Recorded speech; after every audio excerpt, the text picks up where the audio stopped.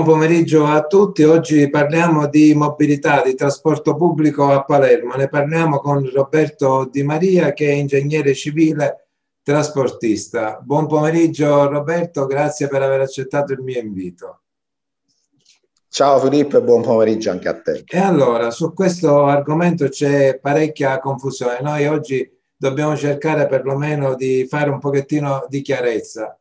Allora, eh, io vorrei però chiederti intanto qual è la situazione attuale del trasporto pubblico a Palermo, iniziando dalla rete dei bus, per esempio. Sì, guarda, eh, la rete dei bus eh, è formata da ben 271 chilometri di, di linee, ehm, con eh, un totale di 58 linee.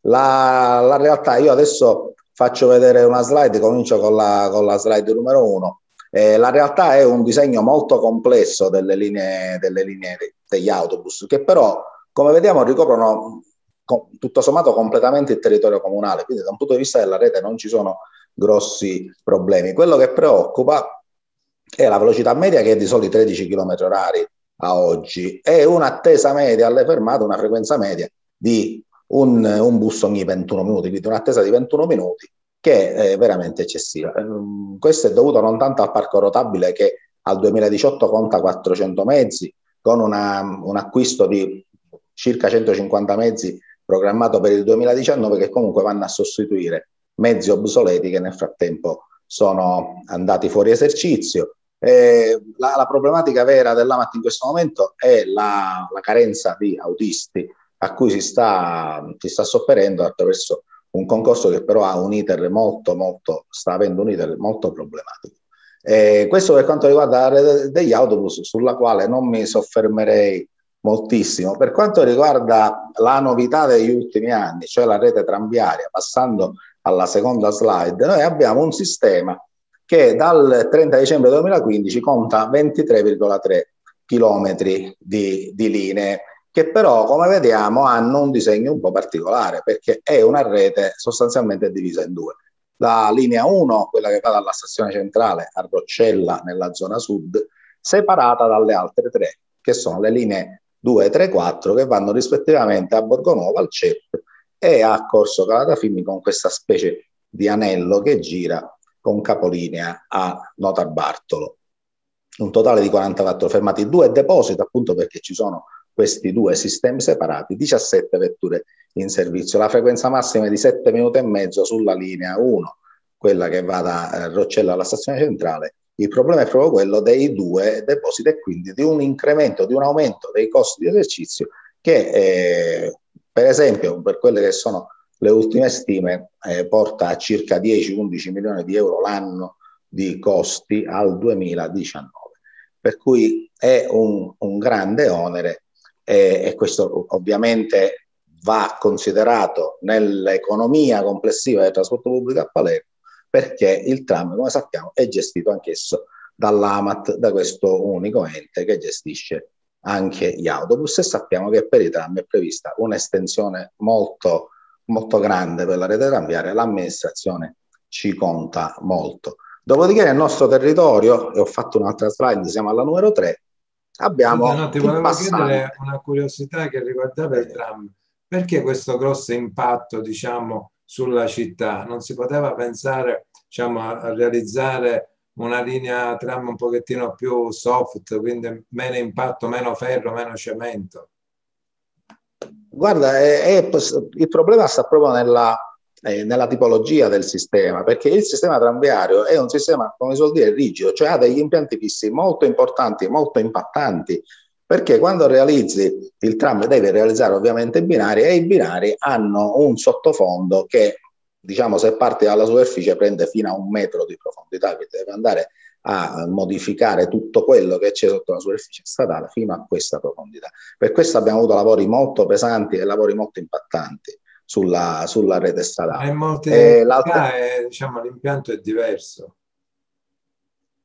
Diciamo che questa linea è stata costruita secondo criteri moderni, per cui deve avere anche un armamento di una certa qualità, di una certa entità. In, in altre città si, si, è costruito, i tram derivano da magari reti preesistenti, per cui all'apparenza sembra che non ci sia questo, questo impatto. In realtà quando vai a costruire una linea moderna devi andare a realizzare il cosiddetto pacchetto, quindi il cosiddetto armamento che deve essere di, di un certo tipo per poter, eh, per poter, funzionare. Quello che è importante anche nei tram è l'impianto di alimentazione, che, l'impianto a catenaria, che come sai ha un costo. Nell'estensione tramviaria, per esempio, questo impianto a catenaria è stato eliminato. Eh, stavo passando al discorso passante ferroviario. Passante ferroviario che è un sistema eh, ormai in esercizio, 35,6 km da Palermo Centrale a Punta Raisi con 21 stazioni, 21 stazioni su 25 previste e il doppio binario eh, per tutta la linea tranne i 6 km 7 tra la stazione Orleans e la stazione San Lorenzo. La frequenza attuale è di un treno ogni 30 km minuti per direzione. Molto migliorabile perché anche nella situazione attuale con questo tratto a binario unico si potrebbe almeno raddoppiare la frequenza, arrivare almeno a un treno ogni quarto d'ora, poi più tardi magari eh, ne parleremo. Per quanto riguarda l'anello ferroviario, la situazione della linea in esercizio è praticamente della metà, 3 km e mezzo su quasi 7 km, 4 stazioni in esercizio, una frequenza attuale di un treno ogni 30 minuti. In futuro l'anello sarà eh, completato, sarà chiuso, quindi chiudendo da Notarbartolo, passando per il porto e Politeama fino di nuovo a Notarbartolo, un percorso di 7 km, 8 stazioni, la frequenza prevista è di 7 minuti e 30. Ma per, per avere questo servizio dovremmo aspettare ancora un poco perché come sappiamo i lavori sono in corso e non se ne parla di, dell'entrata in esercizio almeno fino al 2023-2024 perché ancora eh, abbiamo questi, questi lavori. Qualche cosa possiamo dire sulla metropolitana che c'è già eh, sì, il sistema attuale è quello che si basa sulla, sul passante ferroviario e sull'anello, su questa linea eh, Nodal Bartolo Giacheri. Quello che prevediamo in futuro per quanto riguarda la metropolitana e che è nelle previsioni del comune è la cosiddetta MAL, metropolitana automatica leggera. E passiamo alla quarta slide che ho preparato. Mm, questa metropolitana dovrebbe giungere, dovrebbe partire da, eh, dallo svincolo rete arrivare fino a Mondello attraversando tutta la città nell'asse sud-nord. Per quanto riguarda il primo stralcio, di cui già c'è un progetto preliminare approvato al 2014, la linea sarebbe lunga 6 km con 9 stazioni e un deposito. Mh, frequenza dei treni che può arrivare anche a un treno ogni, ogni 72 secondi, quasi un treno al minuto. Eh, quindi un, un sistema molto importante dalla capacità molto alta, una capacità che può superare i 15.000 viaggiatori ora per direzione. Capacità che si adatta alla domanda presente all'interno della zona centrale della città, che proprio questo sistema va a servire.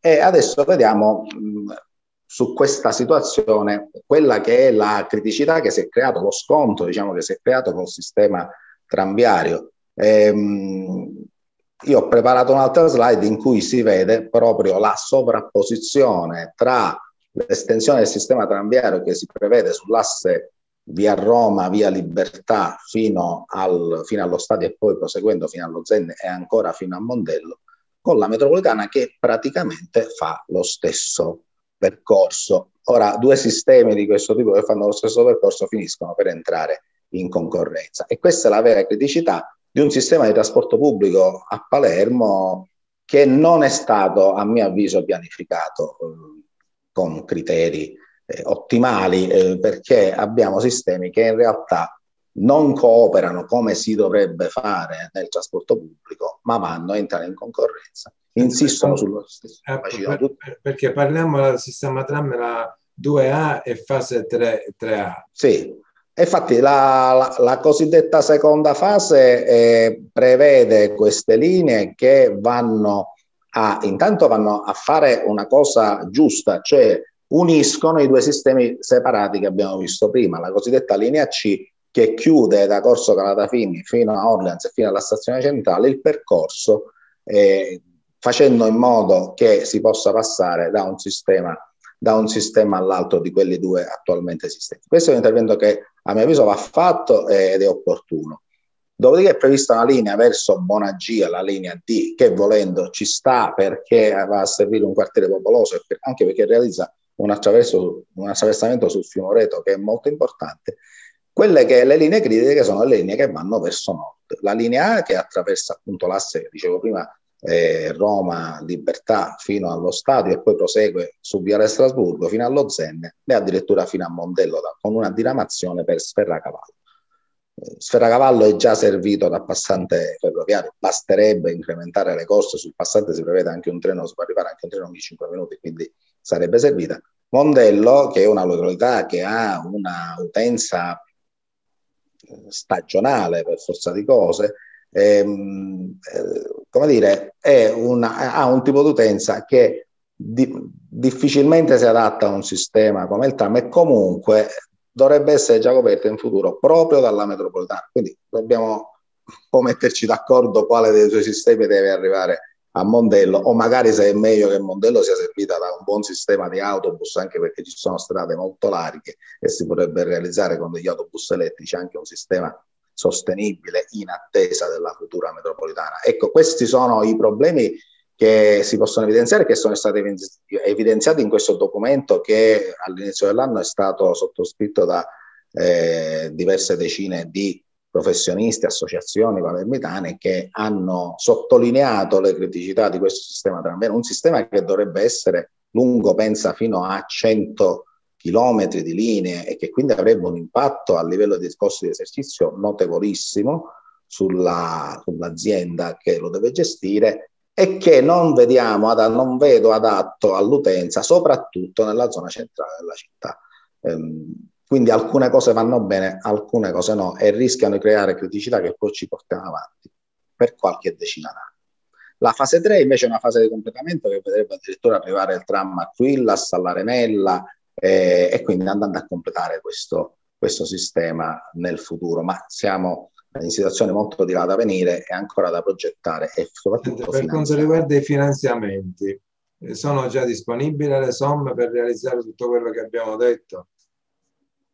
Allora, le somme sono, derivano da, da, due interventi. Uno è il patto per Palermo e riguarda le linee questa linea centrale, la A, la B e la C, quindi prolungamento lungo l'asse nord-sud della città, um, quest'altra linea che prolunga da Notar Bartolo verso Giacheri, la B, e la linea C che invece da Corso Calata Fimi prolunga l'attuale linea fino all'Università Orleans e Stazione Centrale. Qui ci sono i finanziamenti, sono circa 200 milioni, anche se in fine anno il comune eh, in Consiglio Comunale è, è, stato votato un mutuo per incrementare questa disponibilità perché ci si è resi conto in fase di progettazione definitiva che occorre trovare altre somme. Questo mutuo è stato bocciato, come sai, quindi ci sono state delle polemiche che sappiamo, però una quota consistente del finanziamento c'è. Dall'altra parte, nelle linee che vanno, tanto per intenderci, verso Sferravalle e Mondello, eh, e anche per la linea che do, litoranea che dovrebbe andare lungo eh, la Cala, via Crispi, eccetera, eh, c'è un altro finanziamento che con, con, i fondi del Ministero delle Infrastrutture e Trasporti, ex Ministero delle Infrastrutture e Trasporti, ora dell'infrastruttura, de, della mobilità, delle infrastrutture e mobilità sostenibile per l'esattezza, che ammonta a circa 500 milioni e che è stato eh, assentito a fine anno. Ecco, vogliamo un pochettino riassumere quella che dovrebbe essere la mobilità ide- ideale della città di Palermo, secondo il tuo Dunque, io... è quello chiaramente dei numerosi tecnici che sono intervenuti appunto con questo sì, io... ma anche con altri interventi eh, in varie sedi. Sì, sì, a proposito di questo io mh, ho fatto anche un piccolo paragone fra metropolitana e tram nella zona centrale. Nel percorso c'è una slide che è la numero 6, nel percorso tra la stazione centrale e il piazzale antistante lo Stato e piazza Giovanni Paolo II eh, c'è una differenza di ben 12 minuti fra i due sistemi, perché con la metropolitana impieghiamo quasi 10 minuti, con il tram 22 minuti. Quindi questo significa ehm, fa comprendere le conseguenze se mettiamo, del fatto che mettiamo in concorrenza due sistemi. Poi il cittadino chiaramente sceglie quello più veloce e si rischia di realizzare un sistema, quello tramviario, che rimane senza passeggeri. È molto importante il ruolo del passante ferroviario. In uno studio che ho fatto e che è stato pubblicato l'anno scorso su tecnica professionale, ehm, praticamente in una simulazione eh, realizzata sulla situazione esistente e sulla prospettiva a sistema completo, noi arriviamo praticamente ad una previsione di 85.000 spostamenti in un giorno, quindi è un sistema che ha una potenzialità altissima. Io credo, per fare un po' la quadra di tutto quello che abbiamo detto, che un futuro eh, dei trasporti a Palermo debba essere fondato sul passante ferroviario per quanto riguarda l'asse metropolitano, quindi quello che raccoglie anche i comuni limitrofi da Cinisi fino a Termini Merese, tanto per intenderci, e poi un asse fondamentale che dovrebbe essere quello della metropolitana, come abbiamo visto da Oreto fino a Tommaso Natale Mondello, che creerebbe un, un doppio asse. qualche linea tram. Toglierei qualche, li- sì, qualche linea tram, segnatamente quelle che attraversano il centro, perché il tram è un sistema a capacità intermedia. Eh, I sistemi forti, come abbiamo detto, il passante ferroviario e la metropolitana, che vanno oltre i 15.000 passeggeri ora, possono andare bene per attraversare le zone centrali. Il tram lo vedo bene per andare dalla periferia al centro, per esempio vedo molto bene la linea Roccella stazione centrale, come vedo bene la linea Borgo Nuovo, Nota Bartolo, un domani Giacheri, eh, perché sono sistemi che vanno dai 2.500-5.000 passeggeri ora. Senti, altro... a, a, contorno di tutto questo le linee bus. Sì, scusa. Un, un altro argomento, cioè tu hai pubblicato in questi giorni il nuovo progetto per la seconda fase dell'anello ferroviario. Ecco, cosa possiamo dire? Cioè la prima fase, la prima stazione già è completata, cioè è stata coperta, non completata. Questo. Sta lavorando agli scavi da, dal Politeama verso, verso, il porto per completare questo. La seconda fase, secondo Secondo, questa seconda fase dovrebbe portare dal Politeama a Notar Bartolo passando sotto l'asse di via Paternostro, di via Brunetto Latini, una curva verso via Brunetto Latini, asse Malaspina, per arrivare a quello che era una volta il vecchio passaggio a livello di via Malaspina. Andrebbe a chiudere un sistema che copre una parte che va da Notar Bartolo alla fiera e da Viale Lazio. Chiuderebbe l'anello chiaramente in questo modo. Chiuderebbe l'anello che è un anello a binario unico, però avrebbe un solo senso di marcia e quindi questi treni girerebbero continuamente e andrebbero a coprire questa, questa zona. Diciamo che incrementa il bacino d'utenza del passante ferroviario. Senti, gli altri mezzi di, di trasporto, adesso ci sono questi monopattini. Ben venga tutto questo, dico, va bene la mobilità sostenibile, però non possiamo pensare che sia risolutiva del, sistema, del, del problema dei trasporti pubblici a Palermo. E mentre Roberto, per quanto riguarda i parcheggi, cosa possiamo dire?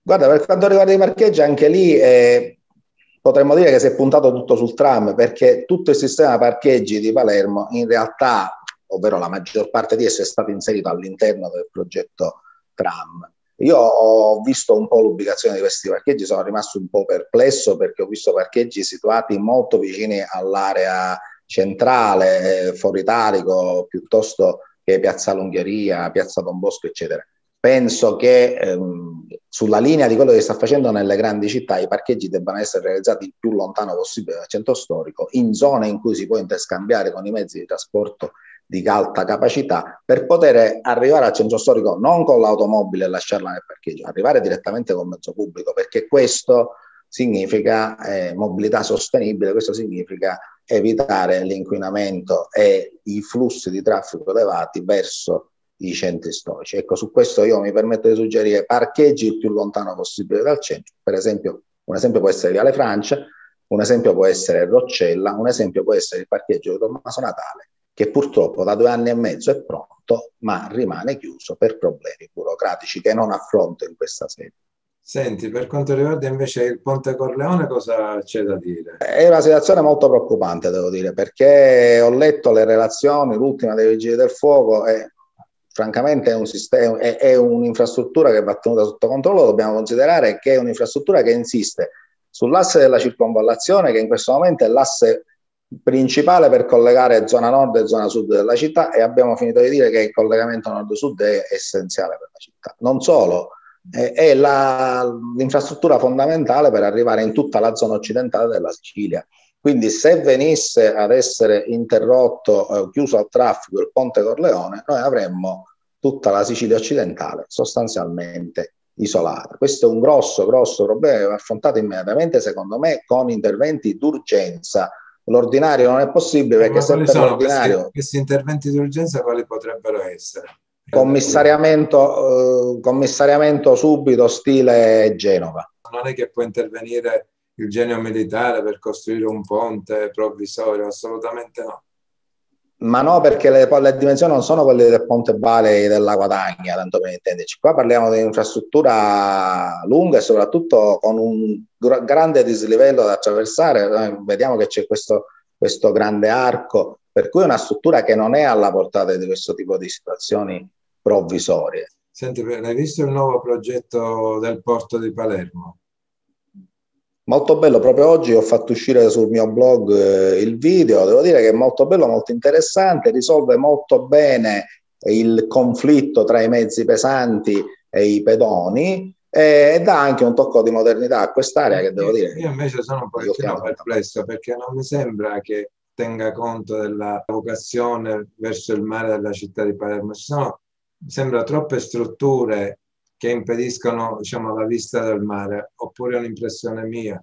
Io penso che nell'area portuale una struttura del genere vada fatta proprio per eh, dividere i vari livelli di, dei flussi di mobilità. Credo che invece vadano valorizzati, come dici tu molto bene, gli altri litorali, Foro Italico, Sant'Erasmo, io dico che per, un, per una mobilità moderna all'altezza della situazione, eh, queste sono strutture che servono. Poi chiaramente si può lavorare sull'impatto, sulla, sulla gradevolezza estetica e si può sempre migliorare. E delle vie del mare che cosa mi dici? Se tu potresti ipotizzare un collegamento attraverso il mare tra i vari punti estremi della città? Anche in questo caso dico, si dice zucchero non guasta bevande, nel senso che ben venga un sistema di questo tipo, ma anche in questo caso dico non è risolutivo. La capacità di trasporto che è necessaria, di cui abbiamo parlato prima, con flussi eh, di, di, un certo tipo, mh, non è alla portata di questi sistemi. Questi sistemi possono eh, coprire una domanda intermedia, una domanda magari anche turistica che dia la possibilità di vedere la città dal mare, per esempio, eh, ma non sono risolutivi per il trasporto eh. pubblico. Per il trasporto pubblico ci vogliono grandi infrastrutture a terra. Allora, il famoso tunnel di cui parlava Cancelleri, se ne parlava in passato, prima doveva collegare il porto con, attraverso via Belgio con via la regione siciliana. Ora sembra che ci sia un'altra idea. Eh, tu cosa ne pensi? Anche della pedemontana? Eh, e belle domande. Della, della sopraelevata della circonvallazione di via la regione siciliana. Io del tunnel ne ho parlato con Pasqualino Monti eh, in diretta online e ho espresso le mie perplessità perché a mio avviso va molto bene per l'autorità portuale, ma non va altrettanto bene per la città perché rischia di portare appunto molto vicino al centro storico, a ridosso del centro storico con uno svincolo, una quantità enorme di flussi veicolari. Molto meglio sarebbe stato, ecco, tu dicevi una cosa interessante, la, rinforzare l'asse della circonvallazione o magari realizzare una, una vera tangenziale a Palermo. Per quanto riguarda la sopraelevata, credo che ormai sia andata in soffitta molti anni fa e non la riprenderei come sistema, anche perché è molto impattante con l'ambiente urbano. Io sulla circonvallazione invece penserei ad un interramento almeno parziale delle carreggiate centrali, che tra l'altro è previsto nel piano regolatore, quindi basterebbe attuare quello che c'è. Va bene Roberto, ci fermiamo, abbiamo tentato di chiarire alcuni aspetti di questa mobilità a Palermo. Io rimango molto, molto pessimista, ma non solo per quanto riguarda la mobilità a Palermo, per quanto riguarda anche il piano regolatore della città di Palermo e insomma per tutta una serie di provvedimenti che non vengono attuati, che non mi lasciano ben sperare. Comunque. Eh, io però ne continuo a parlare perché ritengo che sia importante parlarne. Quindi ti ringrazio per questa tua disponibilità e a presto. Grazie a te, una buona serata.